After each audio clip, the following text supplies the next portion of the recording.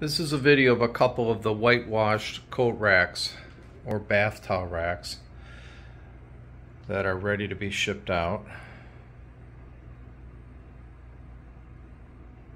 I want you to see some close-ups of them.